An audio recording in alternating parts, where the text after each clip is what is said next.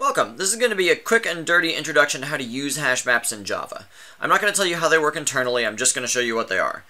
So this depicts a hash map. A hash map will let you store pairs of pieces of information so that you can use one to look up the other. A classic example of this kind of thing is a phone book. In a phone book, you store names that are associated with phone numbers, and you usually want to know what is the phone number that is associated with the name.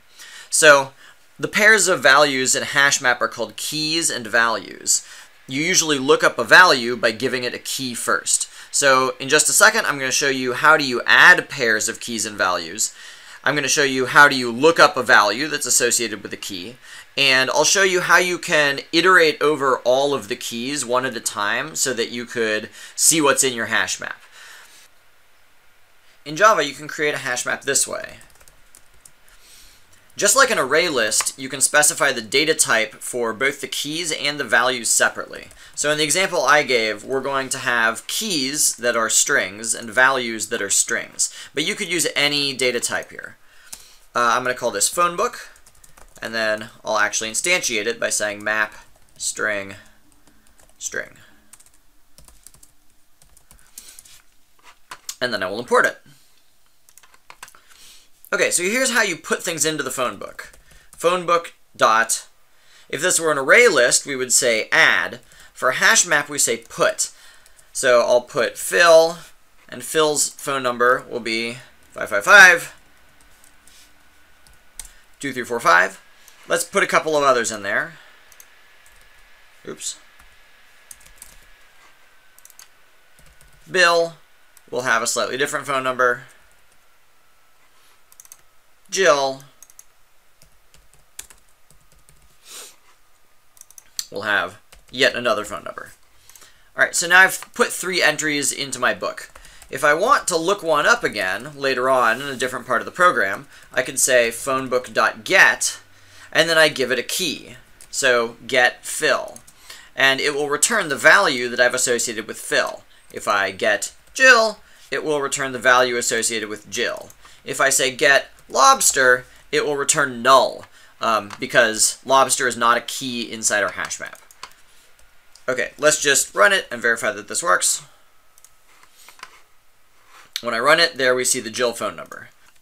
If I put lobster, let's just verify that this works. It will return null for the reason I said. Okay, you might wonder what happens if you put two different entries for the same key. The answer is that the first one will get overwritten by the second one. So here I have two entries for Jill, and you see that it returns the second entry, not the first. An important thing to know about hash maps is even though I depicted it as if it's an array, there are no numerical orderings to the items in the hash map. So Phil is not index 0, Bill is not index 1, because there is no such concept as an index for a hash map. Um, internally, hash maps are actually implemented using arrays, um, but in a very different way. So you might be wondering, well, okay, if I've got all these things in my hash map, how do I loop over all of them? Here's a really short answer. We'll use the for each style loop in Java. So I want to loop over all of the keys, and the keys are names. So I'll declare a name variable that's a string, and then I'll say, you wish you could say phone book, you can't, um, but phonebook.keyset KeySet returns a special data type called a set, um, but it is a set that you can iterate over using this for loop.